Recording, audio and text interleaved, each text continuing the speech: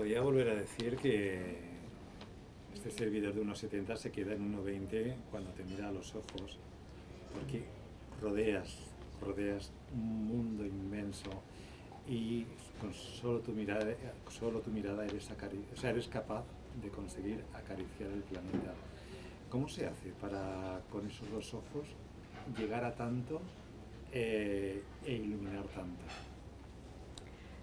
Es la primera vez que me voy a quedar sin palabras. bueno, yo creo que al final, o sea, la música crea ese efecto ¿no? en las personas. Las personas, yo, el otro día me decían, si tuvieras que ser algo, ¿qué serías? Indudablemente sería música, porque la música al final es lo que endulza los buenos y los malos momentos. ¿no? Es esa luz que vemos al final. ¿Sabes aquello que dicen las personas? Es que he tocado fondo y dices, ah, qué guay, has tocado fondo, si es que el mejor momento es ese, cuando tocas fondo, porque todo es ascendente. Y ahí ves de forma más clara la luz, porque ahí está, ¿no? Yo creo que los artistas hacemos un poco eso. ¿El único momento de llegar a ver la luz es tocar fondo? Yo creo que sí, sí, porque es cuando realmente empieza tu aventura. La, la, real, o sea, la aventura real que tiene un ser humano es la evolutiva. Yo siempre digo, yo hay cosas que desconozco, ¿no? En la vida. Yo no lo sé todo. No lo sé todo. Pero sí sé hacer una cosa divinamente, que es aprender. Qué incómodo, ¿no? Sería hacerlo todo. Porque es ese momento en el que te dices, y ahora, si ya lo sé todo, ¿qué me queda por hacer? No, nunca lo sabemos todo. ¿Qué va, qué va? Si lo bonito y el atractivo de la vida es no saberlo todo y tener esa la ilusión de un niño, ¿no? la curiosidad de un niño que siempre todo lo quiere hacer, todo lo quiere tocar, todo lo quiere aprender, ¿no? todo lo quiere saborear. El motor de la vida, la ilusión. Hablemos de un viaje. Venga, vamos. Un viaje que empezó hace tres décadas. Sí. Y que te quedaste desprendada con la voz de Camilo VI. Sí, hombre, ¿quién no? ¿Qué pasó a partir de ese instante, de ese momento? No, en el momento que ves una artista de esa envergadura siendo tan niña, dices, yo cuando sea mayor quiero cantar como él, quiero hacer lo que hace él, quiero sentir lo que siente él, quiero tocar e-, ese Olimpo que toca él, ¿no? Quiero convertirme en él. Después fueron llegando otros, como Luciano Pavarotti, que era como decir, Ay, yo quiero cantar así. Ahí ya mi paso por el clásico, por la academia, por el conservatorio, por tantas y tantas disciplinas que se tocan. Y al final dices, claro, ¿tú qué quieres ser? Al final dices, yo quiero ser yo misma, pero he aprendido de los mejores. ¿Ser tú misma es ser Mónica Naranjo? Ser yo misma es dar siempre rienda suelta a lo que está dentro de mí, que es el ser. Yo escucho mucho al alma. Dicen, no, la intuición ah, es la voz del alma. La intuición es la voz del alma, hay que escucharla siempre. Con esa intuición llega mimética. Ya te digo. ¿Qué es mimética? Mimética es, recoger a todas las Mónicas de diferentes décadas y hacer un disco con ellas e invitar a la gente a que conozca mi mente.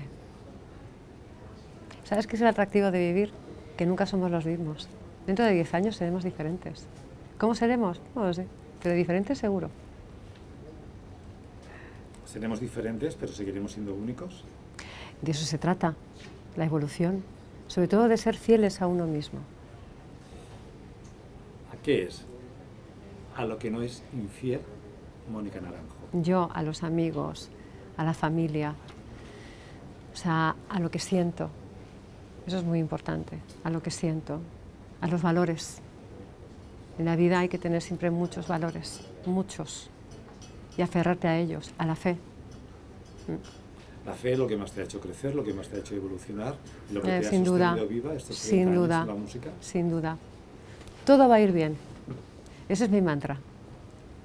Hablemos de, este disco que tendría que haber salido en febrero de este 2022 y lo vamos a ver a partir del 17 de junio del 2022, si no me equivoco. El por qué eh, no salió en febrero y el por qué dos años después. Es que la vida se paró se paró todo. O sea, mientras que había muchísimas personas que seguíamos avanzando, hubo una gran parte técnica que se paró. Entonces yo podía tener el disco terminado en el mes de noviembre y entregado, pero había una cola en fábrica. Cuéntanos qué es polvo vacío. Hoy. Polvo vacío es la segunda parte de esa relación que de repente nace, química extraña, eh, tóxica, diríamos, entre el carcelero y la detenida. Qué extraño, ¿verdad? Extraño, pero no complejo. No, no, porque los polos opuestos se atraen. Y aparte, duramente. O sea, ¿cómo al final eh, se... ¿En qué se convierte eso? Es lo que vamos a rodar estos días. Lo que vais a ir a rodar estos días y lo que vamos a poder ver por los escenarios a partir de octubre del 2022. Eh, háblanos, ¿cómo va a ser esa puesta en escena? Mira, mi métrica va a ser muy diferente a todo lo que hemos hecho hasta el día de hoy. Nos vamos a centrar muchísimo en hacer un espectáculo muy audiovisual, mucho, muchísimo. O sea, va a ser totalmente electrónico, rock electrónico, muy electrónico más que rock. Y es un concierto que estamos preparando para que la gente venga a elevar la vibra y a bailar. ¿Cómo se hace para salir siempre de la zona de confort? Oh, la zona de confort es muy peligrosa. Es que al final, si no sales tú y te pones incómodo, la vida lo va a hacer. Hazlo tú primero, evitarás males mayores. ¿El miedo paraliza todo lo bueno? El miedo paraliza todo lo bueno, efectivamente. El miedo es un lastre. Y cuando tienes un lastre, lo que estás, lo que estás haciendo es retardar todo lo bueno que te va a ofrecer la vida. Que lo tienes ahí. ¿Qué es lo que no paraliza Mónica Naranjo? Yo, las ideas, el amor, la cercanía a los míos, la salud. Yo creo que la vida es movimiento. Si estamos en movimiento, todo está bien. Todo está bien. Han sido también esas colaboraciones. Cuéntanos de las colaboraciones que has tenido y el por qué estos artistas para Mimética. Enrique, por amistad, porque era una cosa que teníamos pendiente. O sea, Enrique eh, y yo nos conocemos hace 22 años a través de Film Manzanera. Entonces siempre hemos tenido esa ese pendiente, ¿no? De decir, es que tenemos que hacer algo, pero claro, tenemos que hacer algo muy chulo. Eh, encontrar el momento y la canción, muy importante. La canción, porque todas las canciones no valen para, para los duetos. Yo, ¿sabes qué pasa? Que yo estoy muy en contra de los duetos que se hacen por comercialidad, por una cuestión de ganar views o una cuestión de reproducir streamings. O sea, yo creo que los duetos se tienen que hacer porque hay una química hay un respeto, hay un amor entre esos dos intérpretes. Es cuando realmente surgen las cosas mágicas. Cuando yo, por ejemplo, compuse Hey, yo estaba pensando en Enrique. Y le envié la canción, le dije, oye, escúchate esto, a ver qué te parece. Y me dijo, tía, no sé lo que tramas, pero estoy dentro. O sea, me fascina, Hey. Háblanos, ¿por qué esa portada? Mimética recoge todo, todo, todo de mí, todo. Todas esas mujeres desde la niñez hasta el día de hoy, las que he sido. Incluso, incluso yo te diría que un poquito hacia adelante el futuro. Futuro, presente y pasado, ¿eres más amigas de los síes que de los noes? Yo sí, o sea, no, ya lo tengo, yo siempre pido. O sea, yo siempre digo que hay un amigo mío que me dice, es que eres una sinvergüenza, o sea, todo lo pides, digo, bueno, es que el no ya lo tengo. ¿No? Como lo tengo, pues como eso es una cuestión segura que tengo, pues yo pido. Disco, gira, ¿qué más? Disco, gira, gira con gloria, televisión. Eh, es que, mm, a ver, mm, si estás sano y la vida te da tantas oportunidades, ¿por qué decir que no? Ponte en movimiento.